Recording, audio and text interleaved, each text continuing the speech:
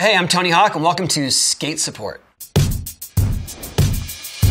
Uh, okay, here we go. Is there a skateboarding trick called the eggplant? Yes, there is a skateboarding trick called the eggplant. I'll show you how to do one right now.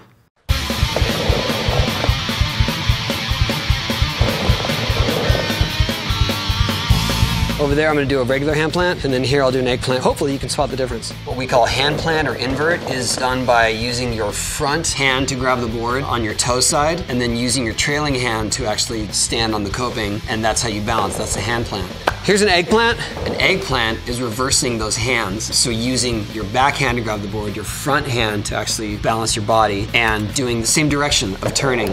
Bro, I need some advice on how to do a 540 on a skateboard. My first advice to you is learn how to skate quarter pipes, preferably bigger ones, because the bigger the quarter pipe, the more airtime you can actually get and have to spin a full 540 rotation. I'll show you a McTwist, actually, a version of a 540 right now. This is a 540 on vert. I'm gonna grab my board on my toe side, which we call mute, around my leg. We call it that tuck knee. And if you do a 540, grabbing this way, assuming you go upside down a little bit, that's a McTwist. It's one of the scariest things to learn because when you start to do it, you're blind to the landing for a half a rotation. And so you kind of gotta use the force. I don't know how else to explain it. So I would say just get used to that spin until you actually start to land it. Tony Hawk, can you please make another Pro Skater video game? My contract is up with Activision. They own the license to that actual name, Tony Hawk's Pro Skater. If we could come to some new agreement, absolutely. Yes, I'm in. Hi, Activision. Free agent right here. Let's do some more fun stuff. How do you do a board slide on a bench, rail, or pipe on a skateboard? I can show you the difference between a board slide on a rail and a board slide on a ramp right now approach some sort of ledge and then you slide using only the board. The wheels are off the ground.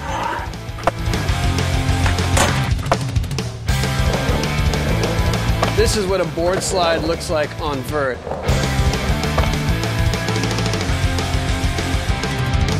Let's see, which skateboarding trick was the hardest to learn? McTwist 540s. It took me nearly 10 years to figure out how to do a 900. One of the tricks that I've only done a couple times in my life is a kickflip McTwist, which is actually like my board is a kickflip and I catch it in the middle of McTwist and there are so many things happening all at once that it's almost like the planets have to align for it to work out perfectly. Years of struggle with that trick only to land two on video. Does anyone know how to set up a skateboard? I have all the stuff, just none of the tools or knowledge. I do know how to set up a skateboard. What you need is skateboard, trucks, wheels, bearings, and hardware. Okay, so first thing you do, get a skateboard, uh, strip of grip tape. You want to take the backing off, get the sticky part down, push the grip tape on from the center out so that you don't get too many air bubbles. If you do get air bubbles, take a box cutter X-Acto and just slice them and put them down and no one will ever know that you didn't know what you were doing. Place the grip tape, get it flat, cut it around the edges. Don't cut too hard in, another sign that you don't know what you're doing. Then you want to poke holes through the grip tape through where all the trucks go. Put the hardware through on top of the grip tape. Take your trucks so that the kingpins are facing in. Next, you want to attach the wheels, and I'm going to give you my little handy tip for putting wheels on. You take two bearings. You've got the outer part of the bearing and the inner part of the bearing. Outer part is sealed. Put the inner part facing up, two bearings like this. Take your wheel face down, put on one bearing, turn it over, put on the other bearing, put your spacer on, and that's it, and your wheel's are already good to go. I give away my skateboards so much for auctions, for charities, and for people. I had to learn how to break in new skateboards constantly, and now that's more what I'm used to. Every other pro swears by their trucks and how they turn and will hold on to them at any cost. I give them away. This is a technical question. It says three flip. Is that the same as a tray flip? And how can you do a varial flip but not a kick flip? Isn't varial a shove it kick flip? That is a loaded question. Okay, a three flip is a nickname for a 360 flip, also known as a tray flip. So yes, all of those are the same nomenclature. A kick flip is when you actually just flip your board all around, right? A 360 flip is when the board does a full 360 rotation and a kick flip. A varial flip is half that. So a varial flip is a 180 kick flip, and you end up with the board backwards.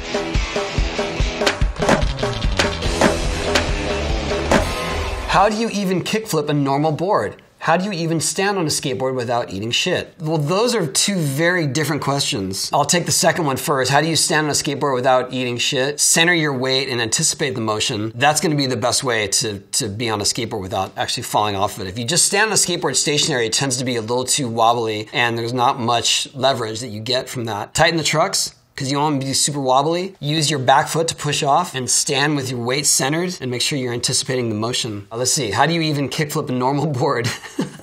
the idea of a kickflip is using your front foot to get the board flipping. So while you're sliding your front foot to level out your board, you actually slide it off of the edge of the board and that gets it flipping. And the idea is you want it to be flipping while you're still going up so you catch with your feet and then you put it down. It should be that easy, but it's not.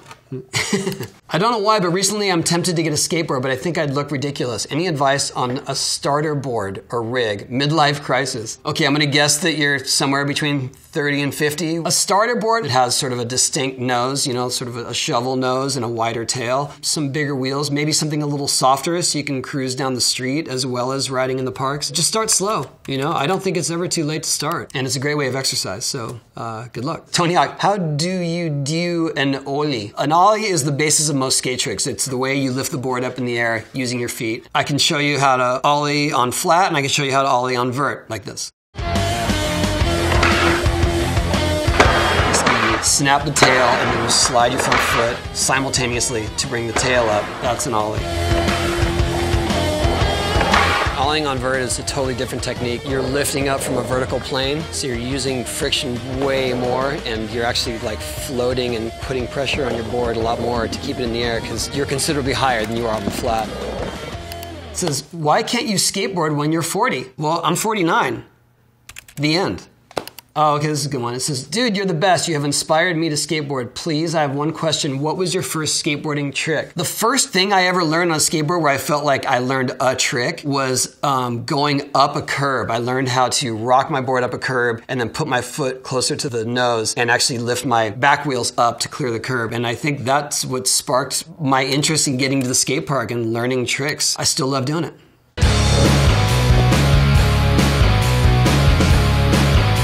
Right, well, that was Skate Support with Wired, and this is Tony Hawk. Thanks for watching.